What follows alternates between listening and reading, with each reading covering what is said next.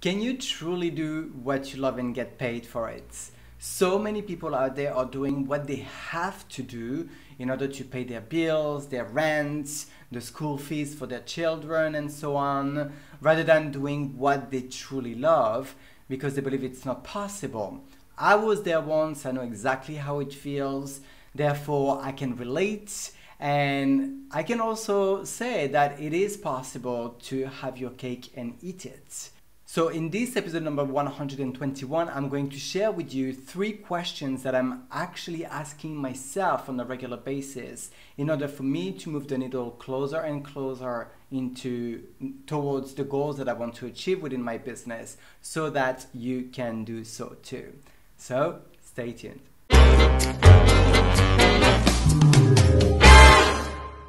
Hey, hey, Thierry here from thierryalexandre.com. I help entrepreneurs, network marketers, and affiliate marketers create faster results online so that you can monetize your brand much faster, easier, and while having fun along the way. If you're new here, consider subscribing because each and every week I do create a new video training for you to enjoy to implement in your business, as well as a freebie that you can download for free so you, that you can create faster results and get closer to your desired outcome much faster.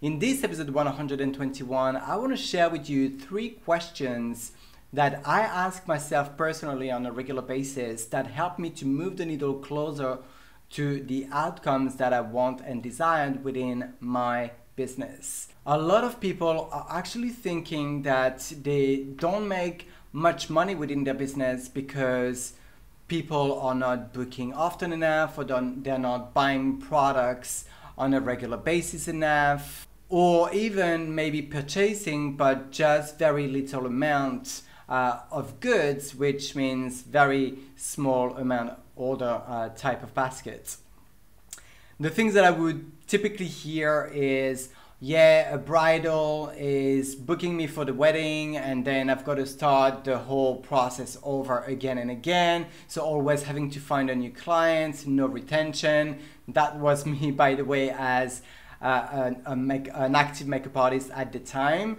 I would have other things like people buy my art and go, so again, no retention, or I can only provide acupuncture treatments when I'm physically able and capable because, you know, for example, the, the practitioner having an injury or even my clients purchase skincare only every three months. So, you know, in between, there's no turnover, there's no revenue apart from every other three months. So they have to create, you know, a momentum within their business. That's typically the arguments or limiting beliefs, I would say even that people are coming up with on a regular basis for the reason why they're not making money within their business. On the other side, there's also the people that are still in a job and they aspire to be their own boss, they aspire to have a business of their own, yet they're not taking the leap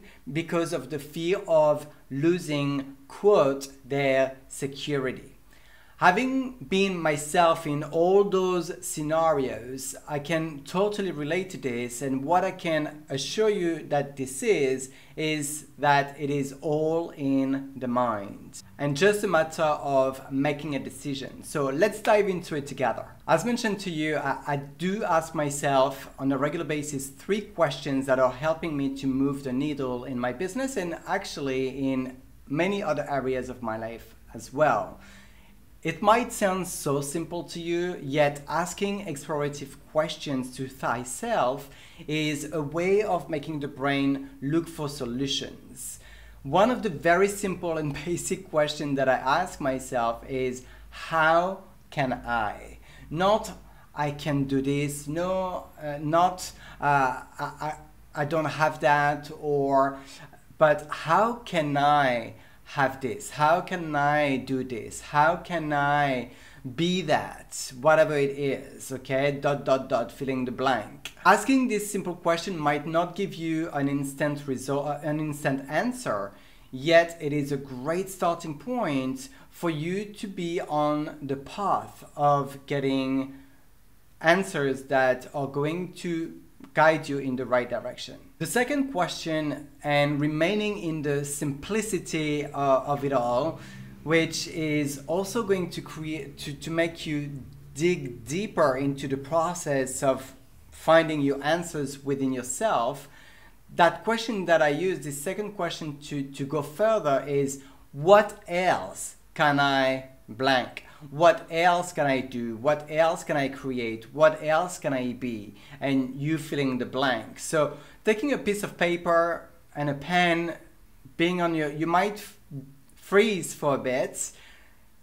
Keeping on asking that question to yourself is definitely going to bring you some answers. And there's no right, there's no wrong answers. I would definitely encourage to, you know, um, brain dump everything on that piece of paper and then review what is going on at the end.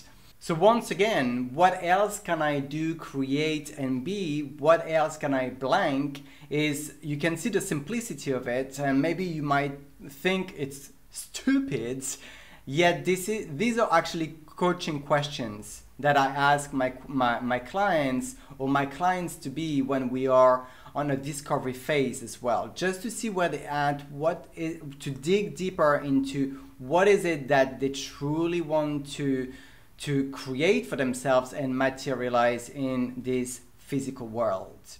And as you know, each and every single week, I do create a new freebie of some sorts, a challenge, a PDF, a guide, um, something that can empower you, support you within your business. This week, because we're talking about making sure that you're on the right track with your business, asking yourself the right questions, it also is important to do the right launch or relaunch for your business. That might be a great time for you to do it if you're watching this video and and taking this this knowledge that I've shared with you today. Therefore, I put together this guide which is my three easy step business launch. That's the most simplest launch I've system that I've ever used. And it every single time that I've done it, it brought me more results. Having people asking me for more information about my offers, my products, my my my opportunities, or anything else, my coaching my coaching services, you're going to love these three simple business launch guide that I've put together for you, just click the yellow button below this video and that will be sent automatically into your email box. Now the last but far from being the least part of, of the process, the third question and which is linked to the fact that I see so many people, me included in the past, right? So not bashing on anyone, yet so many people are not knowing who they are serving, what audience they are serving. This is a crucial part to know in your in your business, to know who is it that you're speaking to? Who is it that you're helping with your solutions to their problems? Because when you know who you're serving, you can then craft a message that is speaking to them directly like you've known them forever. That's what they will feel when they are reading you, listening to you. So that question that I ask myself, even on a regular basis, again, you know, it's because sometimes the audience can change, is what audience do I want to serve? Not what audience do I serve, but what audience do I want to serve? And asking yourself this question on a regular basis, it might be a little bit of um, a, a mind game and emotion emotional game because you want to serve everybody and you you're so you know that your products and your solutions uh, opportunity whatever it, it is that you may have can serve everyone yet not everyone will be your customer and you don't want everyone as your customer believe me you don't because we don't fit emotionally wise and personality wise with everybody. So ask yourself who is the audience that you want to serve? You get to choose. You are in business. You get to choose who is it that you want to work with. So again, once you've clarified this step of who you want to serve, then you will clarify a lot of other things the message, the relationship, where to find them, how to talk to them, what solution to put in front of them.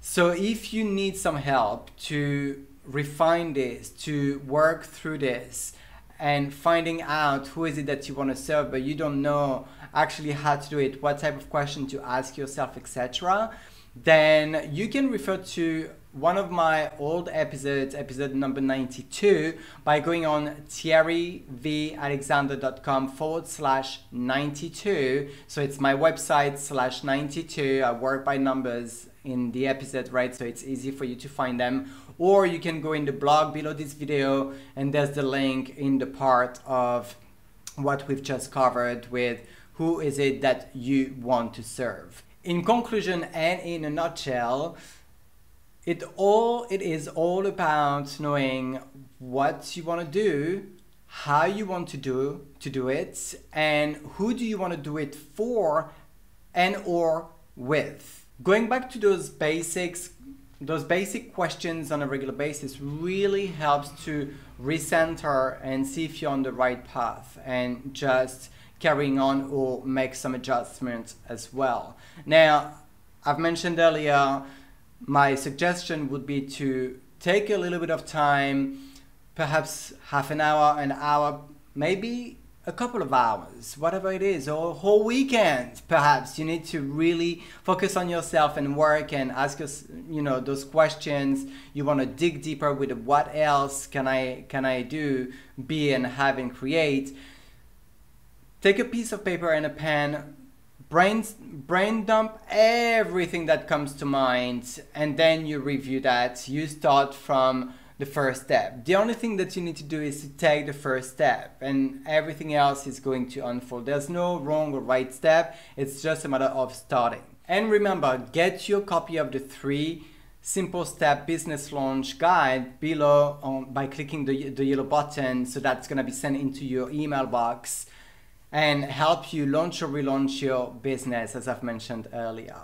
Did you get value out of this video training? I truly hope that you did. If you did, of course, you can share it. You can comment within the chat section, letting me know your, your feedbacks. What is it that you, what is your biggest takeaway? And if you have any questions, feel free to jot them down as well or contact me privately.